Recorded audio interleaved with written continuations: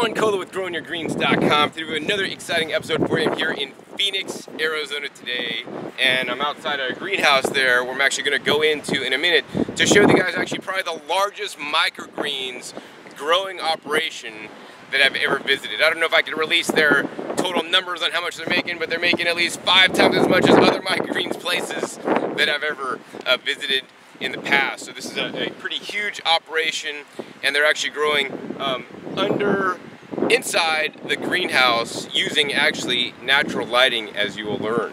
Um, you know, what you guys, what I want to teach you guys primarily in this episode is that number one, microgreens are the most nutritious food on the entire planet and all you guys watching this right now should have already been growing it. So congratulations to you guys that have been growing microgreens because of my past episodes. Um, that being said, this episode may turn some of the episodes that I've shared in the, in the past on its head, right? You know, I've said things in the past based on common knowledge that's out there, but you know, when I travel and visit new places, right, my ideas and my thoughts and my thinking change with time, with new information as I get. And I would encourage you guys always to change your opinions on things as you take in new information. For example, if you voted for a certain, you know, president, right, and you thought he was going to be good, and now you see what a, what a doofus he is, right? Don't like stick to, I voted for that guy and he's right, he's the best, right? Change your opinion based on the things that are happening. Open your eyes, abre los ojos, and I don't speak Spanish. But anyways, uh, in this episode, we're gonna go ahead and into Arizona microgreens here in the Phoenix area, probably the largest microgreens grower. They started five years ago, two brothers, literally in the backyard of their mom's house in a greenhouse uh, their first sale, uh, their first day at the market was $76. Now I'm glad to say they're doing a lot more than that. And uh, they've grown, you know, each and every year to become bigger and bigger so they could reach more people with these, the healthiest foods on the planet, the microgreens. And more importantly, they like to educate people about eating more microgreens. And actually, uh, the owner, one of the owners that I met today, like 40% of his diet is microgreens. And I can't even say 40% of my diet is microgreens over 40% of my diet is fruits and vegetables for sure, um, but I need to upgrade, upgrade my microgreens intake. So in this episode, what I really want to do for you guys is actually open your eyes to two techniques, two things they're doing in this, at this microgreens farm that should be done at all microgreens farms. You know, as you guys know, I like to teach good, better, best, right? And in my opinion, um, inside the farm, as you'll learn, they're using some of the best practices to grow the highest quality microgreens that actually have a longer shelf life than other farms, microgreens farms that I've visited in the past. Anyways, let's go head into Arizona microgreens and get started. Just wanted to give you guys a quick reminder, if you guys love my videos and want to support me, hey, buy a t-shirt that'll allow me to make more videos, or even now you could get a Growing Your Greens hat, or even a Growing Your Greens hoodie. Uh, to do this so I can continue to make more videos, check out compassion-tees.com. Link is at the end of the video. All right, so I'm about to go into the greenhouse here in Arizona Microgreens, but note it says authorized personnel only, right? They have like food safe handling requirements and all these things and they don't normally give tours. I got special permission for this tour today, so if you want to know what goes on inside there, watch this video and stay tuned. Anyways, uh, let's come inside and check out Arizona Microgreens. All right, so welcome to Arizona Microgreens. I'm now inside this greenhouse. This greenhouse is huge and they basically use evaporative cooling, um, you know, to keep this place cool in the summertime. That's probably the biggest challenge they have. And uh, as you guys can see, basically they just have racks and racks and racks of these guys. They basically have like a shorty Botanicare flood tables where they basically bottom water up uh, 10 by 20 trays um, each in each rack. This is a kind of a custom design like aluminum framing system that they basically put the 4x8 um, flood tables into. Each, uh, each row right here um, has like, uh, it's 32 feet um, depth by 4 feet wide. And so they, they started out literally with one of these racks, or equivalent of one rack, uh, when they started the business at the house. And then when they moved into this facility, they started with four of these which then they outgrew. And then they, because they've been in business for five years now, every year they'd add another rack, another four racks, another whatever, until now where they have like a total of 13 of these racks. And you know, for the most part, as I look around this greenhouse, they're pretty much all in production in some stage or another, whether they're being cleaned, whether they have, you know, microgreens uh, being seeded, um, with the domes on top starting to pop out, whether they're in actually full production like some of these guys that you guys have seen behind me with all the microgreens growing. You know, and um, you know, aside from just uh, you know selling at farmers markets and selling to restaurants and chefs, right? They also focus on a new category that I want you guys to be familiar with. It's what they like to call a wellness category. So they could be delivering to naturopathic doctors, for example, or for people that are trying to turn around their health. You know, I know they have probably several customers that just take like a good standing order of $250 of microgreens so that people could literally eat healthy. You know, and some of these microgreens have been used in like the Hippocrates Health Institute program or Optimum Health Institute in Florida or the Ann Wigmore. Actually, some of these microgreens were made probably by Ann Wigmore. You know, the wheatgrass, the sunflower sprouts, the pea shoots, and now more importantly, the broccoli or the cabbage family plants that have the isothiocyanates and all these other anti-cancer properties have been proven by science.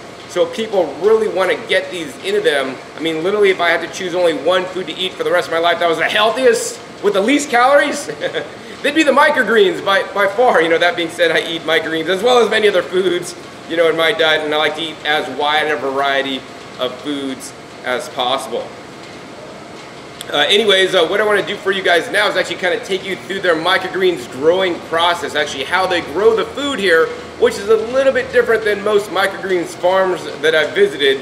Also, we're going to talk to you guys about the extra credit, or what do they do to kind of go beyond you know, standard microgreens farms that I visited to make their farm literally the best and uh, literally on the cutting edge of improving the quality, improving the yields, uh, improving the nutritional quality of the microgreens. And actually, they've been doing this quite a bit and they've made some significant advances and uh, learned a lot of things over the five years they've been in business. All right, guys, so let's face it, growing microgreens is not like rocket science. I mean, there's things you have to do, there's things you shouldn't do, and then in between there, there's all kinds of things that you may want to do or you may not want to do, right? Um, up till now, most of the microgreens farms that I visited have been indoors, so, you know, they're growing in a sterile medium, whether they're using coconut coir, you know, literally mats, other kinds of mats, whether they're using actually coconut coir itself as a growing medium, right? Um, that's what's mostly promoted because, you know, in general, that's not going to have organisms that may make your plants go south or give you some problems. In addition, you know, many indoor places, you know, they must have lighting for them to grow. So they provide, you know, like a full spectrum 5000K light. And, you know, they're doing it differently here. So that's first starts with the, the growing medium that they're using. So they're not using like the coir mats here. They're not using straight coconut coir. They're not using hemp mats, you know, um, other kind of plastic mats that I've seen used in the past, right? They're growing in what I would call a good potting soil blend, you know, for, for, for if I had to put a definition on it, but you can't really put a definition on it. You know, what's in here exactly? Well, a lot of things. They got vermiculite in here. They got perlite in here. They got, you know, actually some uh, non, non-properly expanded peat moss in here. And in addition, they probably have about 15% of compost. So literally this is living material here. I mean, I would feel, feel good after feeling this soil right here, actually just taking this and putting it in my raised bed garden and growing, you know, food in it. I mean, there's also little wood chunks in here. So optionally, you know, if it was me growing microgreens, I'd probably want to sieve this out a little bit, scream it out so I didn't have all these wood chip, chip, chip um, pieces in here. But look on the wood chips, right? These little wood chips have like white little things, right? Are these like, uh, my, you know, different uh, like mycorrhizae and things growing here, right? The white stuff. So I mean, what they really have learned, as you guys will learn, is that, you know, by growing in soil, they're growing higher quality microgreens than those people that just grow in the standard coconut coir or other kinds of non-sterile mixes, right? Because this has the the biology inside. You know, hey, that's like, that should be like, you soil biology inside, like intel inside, biology inside these microgreens. And so, you know, for those of you guys that are my outdoor growers, right, you guys know this. You guys know that it's all about the food soil web. The food soil web is instrumental and they literally, it's what literally makes an outdoor garden work. It's so important. Even if you have an indoor garden, you should definitely have a food soil web component going on inside, including the bacteria, the fungi, and other creatures that basically help bring nutrients into the plants. So, you know, after trialing and trying growing soilless, um, you know, in different kinds of soil medium, they finally came up with growing in soil is the best way to do it. What they found is that by growing in soil, uh, because their plants are healthier, they have a 30 to 40% longer shelf life. So what does that mean, right? If you're in business for yourself, if something has a longer shelf life, that means before it spoils, you have an opportunity to sell it so that you don't have bad products, that literally you don't lose money. So growing in soil, although it may have some challenges, right, it has some amazing benefits. The other thing they learned aside from having a longer shelf life, which is good for business, also good for you guys if you guys are harvesting and eating. That being said, I only encourage you guys to harvest your microgreens right before you're gonna eat it.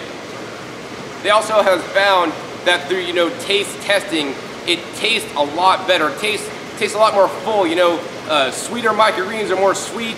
You know, savory microgreens are more savory. The bitter ones that have a nice bite, like arugula and radish microgreens, have a bigger bite, right? And what does this mean when something has a bigger, have literally bigger flavors, right? It means that there's more nutrients in there. So these are the anti-cancer compounds, the phytonutrients, and all these things that are conferring upon us the benefits of the plants as they grow.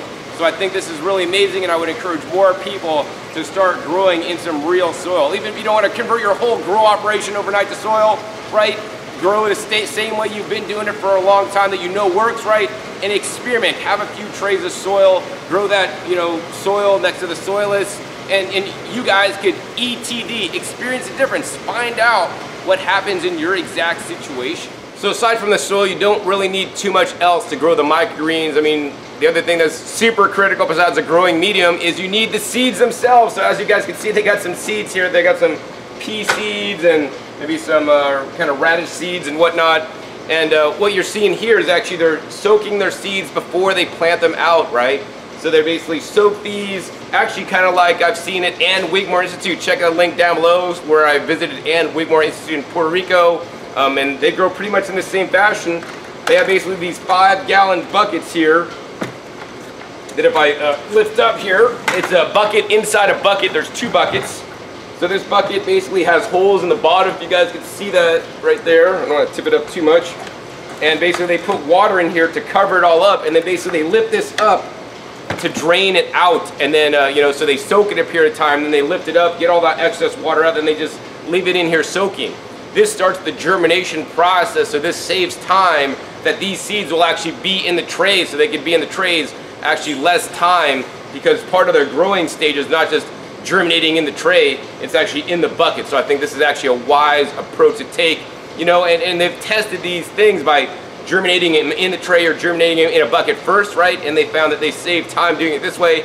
And so that's why they do things the way they do here because they're kind of like me, you know, they try things, experiment, find out what works better or worse, and then just stick with the better. So actually once they have these guys all soaked, then they'll plant them in a tray. So actually I wanna show you guys actually some of the amazing growth and how fast the microgreens grow next. All right, so now I wanna show you guys actually how fast things grow here at Arizona Microgreens, right? Okay, so you guys just saw the seeds that were soaking, right? Those seeds that were soaking then get put into a tray with the soil that you guys just saw. And that soil is right here, and then they put the the seeds on and they basically just uh, they cover this and put a little bit of weight on it, right? And then it germinates. So literally, I mean, today, this was actually uh, planted um, yesterday actually. So yesterday this was planted and already today there's like nice big long roots on there. They're starting to orient themselves down. And then after, then only like I think three days later, then this happens, right? Three days later, these guys are already at least pushing an inch, an inch and a half. Really nice, luscious green growth on there. And then in another two days, it's gonna look like this guy. Look at this, man. I mean, this is another inch or two of growth, right? And then in another two days, it's gonna look like this. So I mean, literally every day these plants, these little baby plants are growing like an inch or two. And then right after this, right, then this, actually this tray will be harvested tomorrow, in which case it'll get turned into a little package, something like this. And uh, you know, from the time it's, uh, you know, planted in the in the tray here to the time it's harvested is nine to 10 days. So literally if you guys want to start a business, there's no other business, literally you could grow money in nine to 10 days. Now that's with the peas, of course. Some other things take a little bit longer to grow. They grow basil that takes up to maybe three weeks. You know, some of their plants or micros that they grow might take 14 days. And also, of course, it depends on the time of the year. So yeah, they grow peas as well as many other things. So actually, let's take a look at the list of how many different varieties they grow. All right, so here at Arizona Microgreens, I think they must have read like the, what is it, the four hour work week or is it four minute work week, right? Because they got everything systematized, right? They got a placement guide, they got, you know, things to let people know where things go, they got lists, they got checklists, they got all kinds of stuff happening here. And, you know, if you guys are having a business, I always want you guys to streamline as much as possible, or even if you're just growing at home, right? Streamline as much as possible so you can get, get in, get out, and let your plants grow because they're actually doing most of the work for you. Anyways, uh, here at Arizona Microgreens, they're growing not just one, two, or three, or maybe four, or a handful of varieties like other farms I've been to. Because, you know, here's the thing, when you guys grow in a sterile medium or with coconut coir mats, right? That limits you because only certain seeds will like to grow and germinate on those mats, right? But think about it. Every seed in the entire world, for the most part, has been growing in soil for millennia, for since the dawn of time, for when when, when since nature was created, God created earth, whatever you guys believe in, right? And so they grow literally uh, about two dozen or so, maybe a little bit more, maybe a little bit less, uh, two different, two dozen different varieties of plants. So they could literally, they're, they could grow anything because they are growing in basically nature's system. All right, so one of the farms I visited recently was actually called Nature's Always Right. Check the link down below if you haven't seen that video. Actually, that guy actually started uh, growing a farm on one twelfth of an acre in San Diego and he named his farm that because that's what his belief is. Nature's always right. And although nature's always right, uh, growing microgreens inside a greenhouse may not always work as planned, you know, as much as most of the microgreens grown here pretty much look like this tray. This is like a, what, like a beets, uh, beet blood or something. Like, look at this tray, man. This tray looks amazing. Look how healthy and amazing. Look how tall it is. Look how vibrant and lush. And actually, I want to stop right there before I go any further. Is that one of the reasons why I believe the plants look vibrant and lush like more so than indoor microgreens is because they are getting full spectrum light. They are, these plants here that you guys see are getting the light that nature intended, right? Which is basically the sunlight from the sun that's been diffused through the greenhouse, through a little bit of shade cloth, otherwise it would be burning too much here in the greenhouse in Arizona in the summertime. Um, gets natural light in the full spectrum. So we want to try to utilize these outdoor spectrums whenever possible, although you don't need the outdoors, you don't need to grow microgreens in a greenhouse, which may introduce problems depending on the climate you live in, if it's too humid or too hot. So you must control the, the environment, the microclimate, the temperatures inside, the humidity inside your greenhouse. They happen to have a nice large greenhouse that has nice fans running, moving air across, which is really nice, plus evaporative coolers to keep it cool. Um, but yeah, the sunlight is, is the best way, in my opinion, to grow the microgreens. So they get actually, instead of nice, tall, like scrawny looking microgreens like I've seen in many indoor grow operations, these guys are actually not that tall. They're kind of more fat and wide. You want fat and wide or tall and skinny? Well, in my girls, I like tall and skinny, but in my plants, I like fat and wide and also deeper colors, right? They're developing deeper colors, more pigments, more nutrients because they are eh, being exposed to the light that nature intended instead of outdoor. So that's, you know, the second main tip. The first tip was grow in some soil. The second tip is try to use sunlight if possible where you are. Of course, I always want to encourage you guys to do good, better, best. John, I can't grow in sunlight. I only have an indoor space. I have an apartment. I don't even have a patio. I can't grow microgreens outdoors. So don't think, I can't grow microgreens outdoors. I'm just not going to do it. And you throw it away, throw the whole idea away, trash it. No!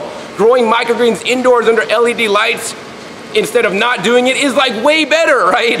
you think good, better, best, right? Hey, good is like grow, buying microgreens if you guys don't have, if you can't grow them yourself. Better would be growing your microgreens indoors, you know, under lighting. Best is like, you know, hey, buy them from Arizona Microgreens, or better yet, grow them outdoors yourself, right? But you've got to make sure you have a right climate and environment for them to grow. That being said, the reason why I came over here because although these microgreens look amazing, right? We have a tray that was started maybe um, that was started on the 21st. This was started like three days later. Look at this tray. Oh my God, John, they got dampening off. They might have some kind of like root rot stuff going on too. I don't exactly know what's going on in this tray, but you know what? It's all right, right? It's not the end of the world. Us and plants, we don't share diseases. You can't get syphilis from beet greens, right? You can't get root rot. You're not gonna, you're not gonna rot your roots from eating rotted beet greens. And actually, you know, if this happens to you in a home situation, no big deal, right? Just eat the stuff that's not looking bad, that doesn't have any kind of issues, right? let it grow up and eat it. And that's what they're gonna do here. You know, some of the areas wasn't as productive. They're just gonna cut and harvest only the good greens to sell and, uh, and harvest those. So basically what they're losing in this trade is they're losing production space, you know? So if they have like a big crop that actually has a lots of holes in it, literally it's costing them money because all, all the spaces that are empty is basically revenue they're losing. So they constantly try to dial in and improve their systems, right? If they're using soilless grow mediums, chances are they may not have this, but then what else wouldn't they have? They probably wouldn't have high nutrient foods because they wouldn't have the food soil web, the microbes, the bacteria, the fungi interacting with the roots that actually, in my opinion, will make the plants healthier and also, uh, you know, improve their nutrient quality. So yeah, so yeah, uh, you know, and, diseases and issues are always issues. You know, they, they actually I want to share with you guys next actually how they try to avoid having issues like this. Actually, it's uh, actually on a shelf right over here. So all right, so I, I, I get it. This shot is not super exciting for you guys. John, man, you're just looking at some kind of like storage shelf here with a couple binders on there. This is not, how, how do they control their, you know, situations in their greenhouse with this here? Well, you know, this is actually the master document. So if you come in here, the most valuable thing is right here because what's in here is actually basically all their trials and testing they've done over the years. So they've done over 305 at this point, different experiments, you know, trying things like foliar feeding, trying different soil mixes, trying adding, uh, you know, different aminos, um, or actually using a germination room to germinate crops trying this, trying that. Let's just open up to a couple random pages and they have an experimental trial process. So this can be duplicated, right? So let's go to like a trial number 208. It says soak but no rinse sunflower. So they could actually, they tried this to see what would happen. And the conclusions it are, if I could read the handwriting, if we needed to quickly plant sunflower, we can do so after a six hour soak. No rinse, no drain cycle. Wow. So they learned they could cut six hours off their production time, right? And uh, you know they have they have specifics on what happened, and maybe they maybe they learned they it's better to probably soak and rinse, but they learned that they really didn't have to, they didn't need to. I would personally still soak and rinse personally. You know, going over to trial 228, this was like amino soak with bull's blood beets, and their conclusion was soaking bull's blood in aminos uh, reduced the likeliness of uh, pythium dropout, but yields remain something similar to control. Uh, and then the, the, recommendation is recommend um, something, the best amino solution in the something, something dropout is significant. Basically, I think they found out that basically I think it helped overall, but the yields didn't significantly improve. You know, so they've done, here's like a AN-20 versus MaxiGrow when they've tried different, adding different nutrients, um, you know, to the plants. They've done foliar feeding, so they learn, they've learned what works and what doesn't work. And basically what I'll tell you guys is, you know, the, the, all these tests are not black and white. They can't say every time we use the aminos, it always helped, right? In some cases, it would be beneficial. In some cases, it wouldn't be beneficial. In some cases, it might even be a negative thing. And so that depends specifically on the thing they're testing, also the variety of plant, right? That's very important. Like for example, they have a big uh, germination room over there that they used to germinate all their seeds in, but basically they found that they didn't really need that germination room unless it's for basil that really likes hot temperatures. Otherwise, they could just germinate, uh, you know, other greens like arugula and radishes outside the germination room and basically it would take the same amount of time so they're really not saving anything from using a germination room. And actually they could have saved a lot of money by actually not buying the germination room and just not growing basil because everything else they just grow outdoors right? So I really kind of like the attitude of the farm here where they where they've strived to like currently increase what they've learned in their specific environment. And just because they learned something here in, in this book does not mean it's necessarily going to apply to you so what does that mean to me? That means to me that you guys should have a book like this that has, you have little pages that says independent variable. You can have a trial number. You can find the dependent variables. You can have the start date. You can have the description, the observations, and the end date, and the conclusions, right? I want you guys to keep a binder like this, or whether the binder's in your head, or whether you make YouTube videos showing, you know, what you're trialing and what you're doing, so you guys can learn for yourselves what works and what doesn't. Um, you know, I think that's the biggest thing, and I think a lot of farmers and growers get stuck in their ways. They'll do one thing, it's always worked like this, I'm not gonna change my approach because what I'm doing works, but hey, what if there's something you could be doing that could better your growth, better the nutrition in the plants. You know, some of the things I solidly feel and know based on my testing and experimentation over the many years that works are things like, you know, adding rock dust or trace minerals to the soil. You know, foliar feeding beneficial trace minerals to the plants, they respond. Adding things like compost teas and, inoc and beneficial uh, inoculations of the leaves and the soil with beneficial microbes, fungi and bacteria. I've, oh, and also of course the good worm castings and also most importantly for outdoor grows, fungal dominated compost, man, one of the most important things that you guys never hear about in organic gardening. Uh, maybe if I remember, I'll put a couple links down below to some of the videos I've done on those topics. But those are super huge, super important, but I want you guys to experiment for their, yourselves, even though I've tried it, and a lot of my viewers have tried the things that I recommend, and I get feedback all the time. John, man, thanks for recommending me those worm castings, they really work. Not all worm castings work. I've found like a couple varieties that work really well, and, and some, a lot of them actually don't work so good, right? But yeah, I, I want to continue guys to uh, try, experiment, and find out what happens. All right, so as you guys can see, we got basically double layers, although the top layer basically gets the sun from the top, right? They also have a lower level here and above, there's actually no lighting. So they're using basically all indirect lighting, which most people would say, don't grow microgreens in indirect lighting, it's not gonna work, right? They have found by actually having two different levels here in Phoenix, where, you know, the summer temperature this year got up to like 128 degrees, I think. Um, you know, uh, this top level that got more sun was good for some crops, but some crops like it on the lower level. You know, maybe your wife, she likes a little bit cooler than you like, and you like it more hot, or vice versa, right?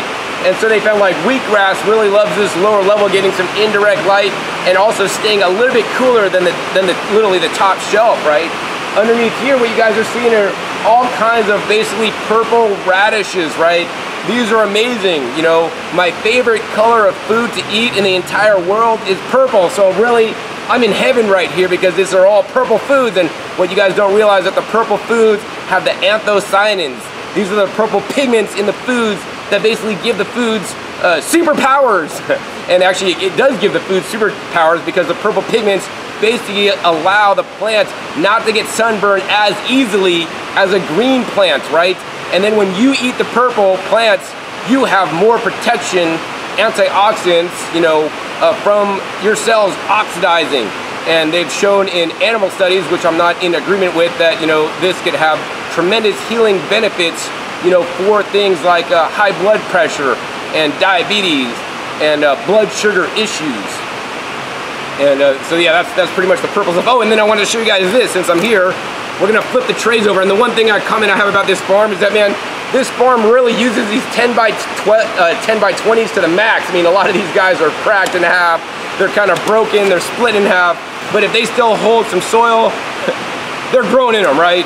But what I want to show you guys actually is the bottom here. Is look at these roots, man. These roots on the bottom, they really have some nice root here popping out of the bottom here. And they look super healthy, some of the healthiest roots I've ever seen on microgreens. Anyways, uh, I think it started raining outside. That's why you guys are here and it's getting a little bit louder. Also, the sun's going down since I've been here pretty much half the day. What I want to do last in this episode, because I, I, don't have much time to film the rest, is I want to sit down with uh, one of the owners and the, the, growers here to interview him more to, uh, to show you guys, to learn more about microgreens, their business here, and the importance of some microgreens and how they're doing it and growing the microgreens just a little bit differently here at Arizona Microgreens. All right, so now I'm here with uh, Joseph Martinez, the co-owner and farmer here at Arizona Microgreens. So first, Joseph, I want to thank you for actually um, having me today so I could actually just make a video and show what you guys are doing. I think it's totally super cool and amazing, especially I like the part that you're kind of like trying different things to the microgreens, right? And because they're done in as short as 10 to 14 days in most cases, right? It's a, it's a, it's a fast turnaround so you can like really instantly get results to see and gauge if something is working or not working to make differences. Plus you have so many microgreens growing, right? To run a trial with these three flats or this whole, you know, row of flats is, is kind of cool. But the first question for you is, why did you get into growing microgreens in the first place? Yeah, so we started about five years ago. And we started actually with a greenhouse. We wanted to build a greenhouse. We were kind of maybe romanticizing the idea of uh, growing inside of that kind of structure. So we built the greenhouse and then some chefs actually showed up before we even planted anything. But how do they know you're even growing anything? They didn't, they just saw a greenhouse and we were in a basically a a small town in Arizona, so if you do anything, people are going to show up and start nosing around and asking. So wow. these chefs, they show up and um, they say, well, what are you growing? And say, well, we don't know what we're going to grow. And they say, you should grow microgreens. Oh, they told you that. They told us what to grow. So this is probably the, well, this is the first business lesson that Yeah. we learned. Yeah. Do something that people actually want. Right, yeah. How can you be of service to somebody? Exactly. That's a much better way to put it, actually.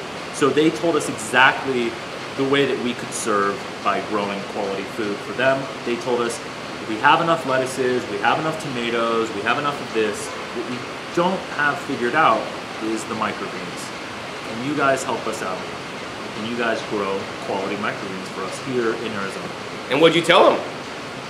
Uh, well, we had no idea what microgreens were. so we said yes, and then we went home and we looked up, probably like you guys are now, you know, you look up online, you say, well, what are these things? How do you grow them? What do you do? That was five years ago. We found a certain amount of resources out there, but not a whole lot.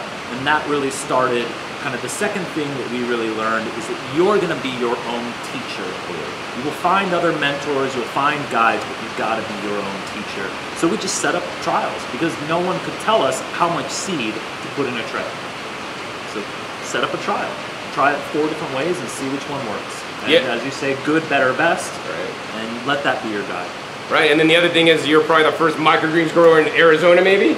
You know, there were some other guys doing some small things here or there, but no one really committed as, you know, wholeheartedly as we did. Because within a couple of months of doing this, we were we were pretty convinced. We were hooked. It was becoming more and more part of our diet. And for better or worse, we actually named the company Arizona Microgreens, so that that makes us the people in Arizona doing microgreens. Wow, yeah, who has California microgreens, right? That'd be cool. Um, but so for my viewers that don't know what microgreens are, I mean, I've showed you guys what microgreens are, but define microgreens and, and, and why are they better than standard vegetables grown in the garden? Perfect. Yeah. So a microgreen is going to look like this. It's going to look like uh, maybe a big sprout, you know, like a kind of overgrown sprout. That's what people are going to see as the final product. And what we have here, uh, have, I showed it earlier. Yeah, we showed it earlier. We've Yeah, got different trays, different kind of stages of growth. So a microgreen is just a herb or vegetable seedling grown for about 10 days to two weeks and then harvested typically when the first true leaves, the, the first leaves start to develop. Cool, and why are microgreens better than full-size vegetables? Or are they? Well, in some ways they are, in some ways they're just different, you know? So one thing that they're definitely better is they're more nutrient dense. That's on one level. You, you actually have higher levels of nutrients in them. But then they go one step further. They're not only more nutrient dense, they're more bioavailable. So what that means is your body can actually absorb all that nutrition. So just because something has a lot of, you know, iron, like spinach has a lot of iron, but our body doesn't necessarily break down and metabolize and absorb all of it. And it's been amazing. You read these uh, studies done on microgreens, and they're not only finding that they're full of nutrients, we're actually getting those nutrients. Yeah? Wow, yeah, because they, they're a lot more tender. They don't have those hard fibrous cell walls that a big, you know, broccoli plant. If you ate broccoli, right, you gotta you gotta really chew on that stalk. Actually, the stalk of the broccoli actually has more nutrients than the flower itself. So eat those broccoli stalks. But they're really fibrous, right? And, and broccoli sprouts are so tender. I don't want to say they dissolve in your mouth because you should be chewing them into a mush to get optimal digestion out of them. Absolutely. So they're more nutrient dense. Me personally, and a lot of people would agree with me, the flavor is just better too. Mm-hmm. I could eat a lot of broccoli microgreens. I can eat them all day long. A broccoli crown, raw, it's nice, like a quarter cup, half cup, and then I'm gonna tap out. But raw microgreens, I pretty, I never cook my microgreens, so I'm getting the the raw plant. It's full of nutrients. My body's absorbing it, and I can eat these things for breakfast, lunch, and dinner. So I can eat a lot more of it. So for me, that's optimal. It's more nutrient dense. I can eat more of it, and it just tastes better. So win-win-win, and that's why we continue to grow microgreens. Cool, yeah, and I want to encourage you guys to up your ante, up the microgreens consumption in your guys' life because they do grow so easy. So that being said, uh, you guys saw the, you know, the ways they grow microgreens here. So Joseph, is it really that hard to grow microgreens? Should somebody be coming to you guys if they live in Phoenix to buy them, or, or can they just grow them in their house? Good. You can absolutely grow them in your house. You could also make your own clothing and you can educate your kids and you could build your house And I think it's amazing that more and more people have the resources to do it yourself. However, we have a scarce resource of time, and there's only so many things that we're going to do ourselves. Um, I've chosen not to make my own clothing. yeah, me too. you know, so there are some things I don't do myself. I would encourage everyone go out there, grow a couple of trays of microgreens. But when you come to a grower like Arizona Microgreens, what you get is a high standard of food safety and you get a consistent product that is always going to be there for you at the farmer's market or at your retail grocery store. Or make deliveries to your door. Or to your door, yeah, we deliver. So, you know, yeah, go ahead and grow it yourself. Uh, we have a lot of customers who they'll grow just the sunflower for themselves, and then they're going to get the broccoli and the arugula and the basil and the cilantro from us. So we provide more variety. If I'm going to grow it at home, I'm probably just going to grow one or two varieties. Cool. So that being said, what are the easiest varieties to grow for those of you guys that like just want it easy? Because some of the microgreens they grow here are actually quite specialized and more difficult, right? And Yeah. take longer time. They can be super uh, finicky. They can be really expensive seed. Uh, so just avoid those difficult varieties. And I would recommend everyone, if you're going to start growing microgreens, go out get sunflower. Grow Sunflower. sunflower greens for yourself. They're going to be a big part of your diet too. So get sunflower, get pea shoot, and stop there. I would say radishes, man. You've got to Yeah, go with yeah. the radishes because they they're pretty rambunctious. They're they're fairly easy and they grow fast. And also, you know, they're they're definitely really healthy healthy for you since they're in the brassica family. And then and then stop there. Yeah, yeah. Okay. And then once you guys get that going, right, just keep that. I don't care if you just keep up with those three forever. You know, maybe later you want to add on, maybe you want to come to Arizona Microgreen and get some of their micros. All right. So uh, Joseph, I, uh, we, we talked about this a little bit earlier in the day, and I talked about this a little bit on the video. But you know, those two things that kind of set Arizona Microgreens apart from many other microgreens growers that I visited, or even here in Phoenix, is that you guys grow in a greenhouse, and actually you guys use real soil, if you want to call it that. You know, um, you want to explain why this is so important to you and, and why you do it actually. So we're located in Phoenix, Arizona, which is extremely sunny. That's the one thing we've really got going for us. So we got a lot of light, you know, and um, we want to work with that resource. That's a resource we have in abundance. So we want to utilize that. I don't want to go inside of a indoor facility where I've got artificial light. If I walk outside and I have even more of it for free. So we work in a greenhouse, we use that natural light. It's a fuller spectrum and it develops much more beautiful, flavorful, colorful plants. So I'm gonna work with that resource. So a greenhouse lends us to that. They're also, they use a lot less energy, so they keep our bills quite low and we're more energy conscious. Um, so that's why we're in a greenhouse. If I were in Iceland, maybe we'd do something different. You know, even if I was in At least half, half the year you could uh, grow outdoors because you got 24 hours of light. I've been there, but then the other half that you better be using some light or you're going out of business. And then the other thing that we do is we grow in kind of an organic soil. Okay, so it's got a bunch of different components in it, some peat, some perlite, vermiculite, other things like that. But it also importantly has uh, organic compost, which has a broad spectrum of trace minerals in it, and that's the really crucial thing. If I'm growing in just like a hemp pad, that's not providing any additional nutrients, especially those trace minerals. Those are really, and those micronutrients, those are critical. We get those in soil. We get better flavor, we get better shelf life, we get better looking plants. We believe in growing in soil, and we believe in growing with natural light. Arizona Microgreens grows the best tasting microgreens. That is something we absolutely have going for us. And I have traveled around and tasted a lot of different microgreens. And the only people who come close to us are people who are also growing in soil also growing with natural light. Wow. So have you Brix tested your microgreens to compare them to other microgreens? No, no, but I would. Lo- I hear you have a Brix. Yeah, I have a Brix meter in my car. Maybe I'll take some micros, and then I'll try to get some micros of the same type from somewhere else in town, and, and I'm gonna, you gotta juice them, and then I can test them to see if if he's like for reals. Yeah, yeah, and we're we're very open. We're not we're not afraid of competition. We want more people growing microgreens, both professionally at home. I want this to. I want more people to know about this. Yeah, I mean, like me, I want more people to garden. I want more people to make YouTube gardening videos. I don't, you know, because we're making the pie bigger. Because there's so many Americans that are simply not growing their food. There's so many, even more Americans are not eating microgreens or don't even know what the heck they are. And I believe every American, even person living on the country, even your dog and cat, should be eating the microgreens because they are so nutritious, anti-aging, and disease preventing. Um, so Joseph, I know you've done. Oh, you had I want to just jump in real quick. Two things. Uh, dogs love microgreens. So uh, sunflower pea shoot, they love those. Grow those. If not for yourself, do them for your dog. and uh, and then as far as the Brix testing, absolutely. If you tested our microgreens and found that someone else had better Brix values, I want to know about that. And I want to know what can we do to grow our microgreens better. Arizona microgreens, we've been around for five years. We're going to be around for a lot longer, and we want to learn how to grow the best microgreens in our environment. So we're very open-minded, and yeah, bring it on. That's cool. This is the same exact attitude you guys should have about your garden. This is the exact same attitude I have about my garden. That's why me and Joseph we get along real good. Um, we, we have similar beliefs about always trying to improve. And if hey, something somebody's doing something better, hey, that's great. Let's learn from them. Let's see how we could even improve, and then we could even get better ourselves. All right. So Joseph, one of the things I've heard is that you know inside the microgreens, inside the seed, there's all the nutrition the plant needs to grow. You don't need to grow in the soil because all the nutrition in the seeds. This is something I've said on my videos before when I've been to other microgreens farms. This is things I've read online. It, what, what's your opinion on this topic? Oh man, this is this is where our friendship is getting on the rocks. Um, it is true up until a certain point. You can grow a seedling, you can germinate a seedling in a medium that is completely sterile and has absolutely no added nutrients.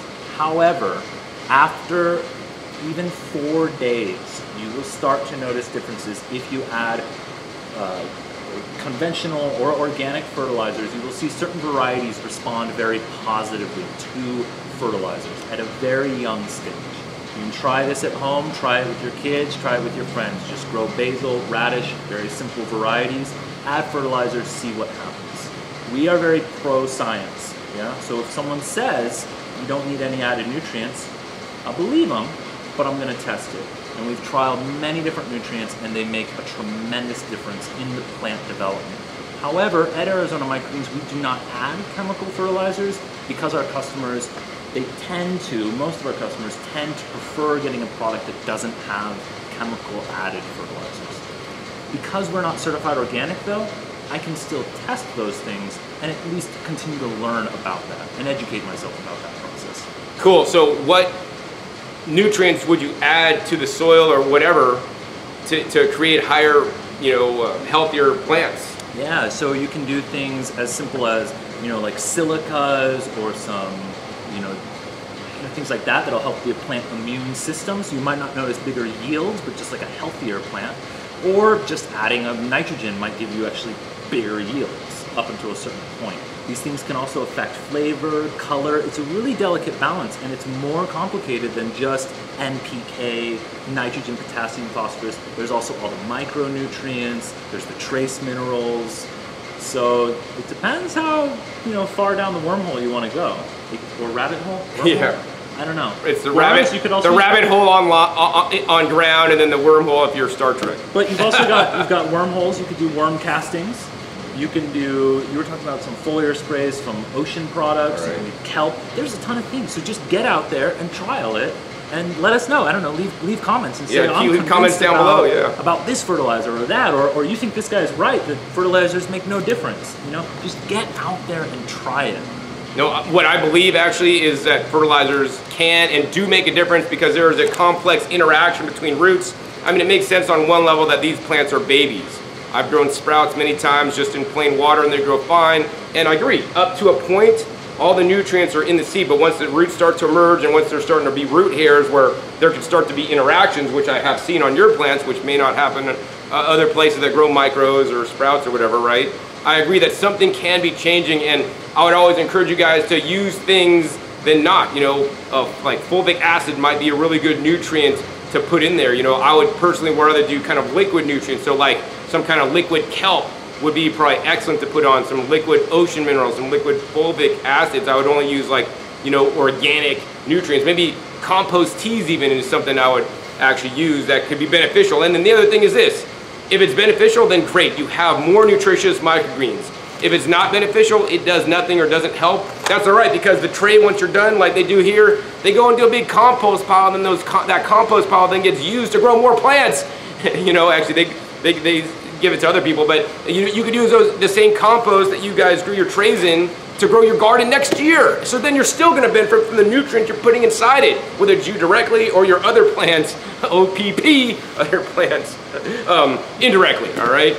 we take our compost and sometimes depending on the season depending on what's going on in town um, sometimes we'll just donate a bunch of it to a community garden group that just installs community gardens on vacant lots around phoenix and it's great i get a call from them every now and then and they go joseph we've got your uh, sunflowers and your pea shoots and your broccoli just sprouting up volunteers in our gardens throughout the city so i'm absolutely on board with you just grow the stuff grow more of it put more rich plant media out there, whether it's in your backyard, your friend's backyard, or some vacant lot. Just grow more food. All right, cool. So, I mean, Joseph, I would consider you an expert microgreens grower. I mean, you sure heck, a little heck a lot more than I do, because I mean, literally, you've been living, breathing this stuff for like the last five years, five times 365 days. You guys do the math. Over 1,500 days of like living in this stuff. I mean, I've been growing probably outdoor gardens longer than you. Been born? No, I don't know. But um, but what are some tips that you guys you want to give some of my uh, you know viewers that are maybe new into microgreens or even maybe a pro that's been growing a while? Like how can they refine and fine tune to even get better? Mm, it's a good question. Uh, I actually have to think about that for a second. Pro tips: How are you going to take your game to the next level? Uh, yeah, your inputs are really simple. Your inputs are really simple. You've got seed, soil, and your water but you can always learn more about each one of those elements. Uh, you were actually with me today and we had a soil scientist come yep. over. We not only talked about soil, we also spent a good amount of time talking about water. Yeah. So these things are all interrelated. And you think you've mastered something, nah, you've really just begun. So I would, I would basically open up a file, you've got the seed, you've got soil, you've got water. And you get to become an expert in those three domains and see how they interact. Um, so always, always, how can we get better quality seed? Quality seed is often, microgreen growers have problems with yield or mold or fungus. It could be just your seed. So better quality seed. So those are some excellent pro tips. Now, what about some beginner tips for my home gardeners out there that want to start growing microgreens that never grew them before? Yeah, start simple. Just grow one thing. Just do that. Don't watch this video and say, oh my gosh, I like the purple ones and I like this cilantro and that. Nah, just start simple go home and just grow one tray or one pot, one thing. And I would recommend, yeah, radish, great starting point. Sunflower, great starting point. Just grow like that. At home, your big problem, I can anticipate it already, it's gonna be airflow, air circulation, yeah? So if you get better airflow, it's gonna cut down on your mold. It's gonna actually help your plants evaporate more of the water in the roots so that you get to feed them more. You want that root zone to be very active, getting wet and then dry, wet and dry. So what's gonna happen is you, you need moving air. Our homes typically don't have constantly moving air. So if you're just gonna do this in your kitchen, just turn on the kitchen fan. Yeah. Or, get, get, some fans, get a small fans, little clip yeah. fan, and don't point it directly at your microgreens. Just kind of point it nearby, just so the air is moving. You get a much better crop. Cool. So talking about crop uh, is, uh, you know, the seeds. So the seeds are, are, vital. Seeds could literally make you or break. If you just buy some seeds on Amazon because they're super cheap, right? Those might be the wrong kind of seeds because they might have some issues with them, might have mold spores or who knows what in there. So what would you recommend people, where, where, where should people get their seeds from? There are a couple online vendors who popped up in the last couple of years. If you just Google microgreen seeds, it's gonna show up. Um, whether you're a viewer in Europe, there are going to be different companies in Europe, United States. You've got Johnny's, you've got Mountain Valley, you've got Mumm's, Canada, different companies than US. So just try to buy seeds from nearby you or you're going to break the bank on shipping them in. Uh, I would not recommend going to your local grocery store and getting bulk seed from them. That product is different than seed you grow out for consumption. So those sunflowers, those sunflower seeds you see in the grocery store, they could be like two, three years old already. So make sure that you're actually growing seed for crop production. Right, and, and I would even say like you want to get seeds for microgreens production because seeds growing for crop production, you know, may not have all the testing. I know Mountain Valley, I've visited them before. They do, you know, specific testing, like micro microbiological testing uh, for their sprouting seeds, for instance, to make sure they're, they're totally clean for producing sprouts and, you know, uh, seeds that are grown for outdoor gardens, they don't get that special treatment, right? Um, let's see, so, oh, another thing, Joseph, that I really like that you do here is you have that like experiment book, right? Where you have like over 300 experiments that you've done here to see what works, what doesn't work. So you want to talk a little bit about why you do that and, and, and maybe just a few things of what you've learned, if anything. Oh, we've learned a couple things. Um, so at Arizona Microgreens, something that we just love about the work we get to do is there's no one who wrote the book of rules that we have to follow. yeah, there's no one who says this is the only way to do it. We're doing things now that are the exact opposite of what we did even a year ago. Yeah, so everything's constantly in flux. We're always doing experimental trials, different types of media, trialing different nutrients, even if we're not going to use them, just to learn about them. So we understand the science behind plant production better. We're doing shelf life tests, packaging tests, everything. We're running trials on it all the time because we want to understand how can we grow the best microgreens from seed, soil, harvesting, packing, the whole thing. Um, what do you, you want to know something? One tip, yeah, something one, something that you could share that would help people out. Okay, because I know so, you've done so many trials, you know so much. Let's see. Uh, yeah, I'm gonna go back to the soil thing. We get better flavor with soil. Yeah, just hands down. We've tried different hydroponic nutrients, we've tried organic, we've tried scary conventional stuff. Nothing beats a planting medium with even just 10, 15% organic soil and you get just a wider range. You get selenium, calcium, molybdenum, copper, zinc, and all of that, it might be in my head, but we do blind trials. Nothing tastes better. Nothing better, nothing tastes better than soil grown. Soil I mean, grown. I still eat hydro stuff too, but hey, and this soil grown is, I, I, agree with soil grown is, is, is better. It's, it's, the way nat- nature's worked. And we're still, and this guy walked in my greenhouse and that's exactly what we're trialing right now is we're trying a soilless medium. So even though that's what we're convinced of, we're always wondering, is Because maybe, so- yeah, maybe this soil medium is better because it's a special, you know, pro BX, whatever stuff that yeah. many growers use. You know. So on a professional level, we're just we're not fundamentalists. We're totally open to constantly evolving and learning. Microgreens as a crop, because they take 10 days, two weeks, we have that opportunity. So take it. If we were growing organic cotton, that's really high risk to go out there and mess around with foliar sprays and this and that, you know? So we take as rapid cycle food production, super quick, very labor intensive. That's that's a kind of minus. But on the plus side, your opportunities for learning are just exponential. Wow. Yeah, kind of like when I was in grade school and we learned like they always test all these things on fruit flies since they basically they, they have a fast, pretty quick life cycle, right? Yeah. So they so can do a lot like, of trials. Yeah, this is like a less depressing version of Yeah, thank you. Yeah, only experiment with your microgreens. I do not advocate experimenting on fruit flies or other beautiful creatures on the yeah. planet, all right? All right, Joseph, so I know you have a funny story about a new customer that you probably would never think would eat microgreens, how he, how he started eating microgreens and now he's like one of your regular customers and how he's gotten a lot of health benefits from eating the microbes. Yeah, so don't make assumptions that microgreens are just for these kind of hippie types or alternative types or young folks or anything like that, or this guy. Um, you'll be really surprised. And when we first started, had a small greenhouse in a small town in Arizona. Like I said, people talk a lot. So this greenhouse was built. It just so happens to be in a town where there's a lot of biker gangs and guys, tough, tough guys like that. And this guy showed up in our greenhouse. He's walking around like he owns the place and asking, give me, give me a sample of that. Give me a sample. Wait, were you open? Did you have a sign up, or you just came in and just like the chefs came in because you're just he's, he's nah, like, people it's Arizona, man. People just roll right in. Oh, so I could just roll in any place and say, hey, what's up? That's what he did today. um, so this guy rolls in, and he starts trying things, and he doesn't really look convinced. And then I give him a sample of sunflower. He's a really tough guy. And all of a sudden, his whole body changes and softens. And he turns around and he goes, Joseph, what, what was that? Those are sunflower microgreens. I don't know, but what is it? So it's just a little seedling, it's a little leafy green. Why? Because when I eat that, my body feels good. And this is like a, a, motorcycle tough guy with tattoos all over, and you know, I mean, this guy was not the person that you would think would be talking about high vibe foods, you know?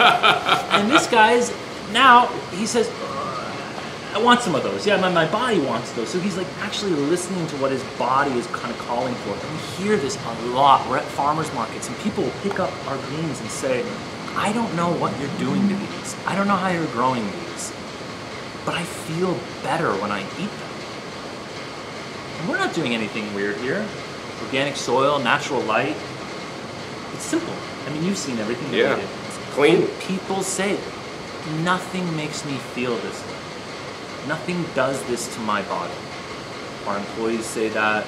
People we meet at the farmers markets. And this guy, this tough biker dude, has actually been our customer the longest of anyone we have. And um, yeah, we deliver greens weekly to his house. He eats a ton. His dogs eat them. His wife eats them.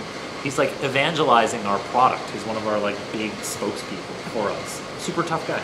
You better not piss him off because he might come after you. That's how Arizona is, guys. And the other thing is, if you guys are gonna have like a big fight with a biker guy, make sure you have some sunflower greens in your. Wait a second, eat this first, and they're just gonna relax and wow, I feel changed. No, I'm just kidding. And there's some, again, that's why I'd recommend if you're gonna grow them at home, start there. I, in the morning, I use a bunch of sunflower greens with our wellness mix, which has broccoli, cabbage, and kale. So I've got my kind of cruciferous brassicas there, and I've got the healthy protein in the sunflower greens. I make a great green smoothie. It's the best green smoothie you'll ever have. Uh, can we share a recipe? Yeah, yeah. Uh, do the sunflower greens with, uh, we'll say broccoli microgreens or kale microgreens, and then we just do pineapple, lemon, some chia, and banana. wow, and cool. And it. some water, coconut water. Yeah, a little water. bit of water, coconut water, whatever, whatever you prefer. Blend that thing up, and that's my breakfast pretty much every day. And then for lunch, I have a big micro salad. That's our product, a micro salad, but it's a blend of microgreens. You got sunflower, pea shoot, radish, and a little bit of cilantro. You're covered there. You've got protein, fiber, antioxidants, and a blood cleanser in there. So from a health perspective, you're primo. Wow, so you, that's what you eat for breakfast. Literally, you have a, a, green micro smoothie, and then you have a, a micro green salad. I mean, you can't eat much healthier than that, in my opinion. And then for dinner, you know, we're friendly with other local farms, but you just go out to your farmer's market, get vegetables, roast those up, and throw it over a micro salad. I have microgreens in every meal that I eat. And I want that for you guys too. And actually, that's something I really need to do.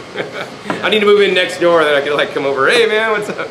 But um, yeah, so I encourage you guys to eat the microgreens. And why are microgreens so nutritious? Well, for me, it comes down to a few things. Number one, they have the most nutrition because they're literally, literally baby plants, right? That's number one.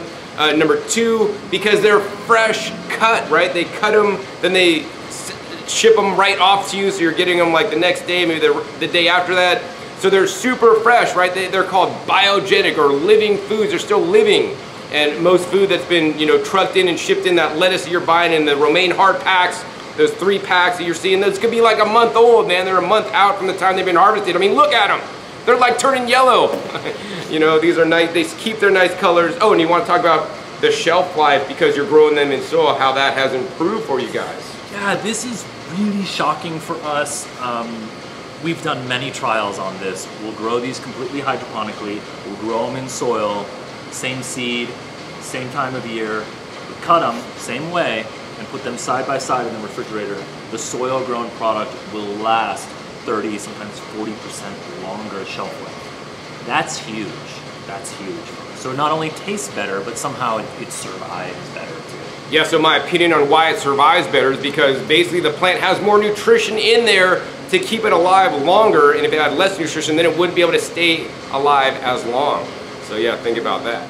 So Joseph, you've done all this amazing research and documentation of that binder. Will you make that public, or do you teach people about microgreens or growing them, or how to optimize? If like somebody's already out there doing that, do you do consults or anything like that?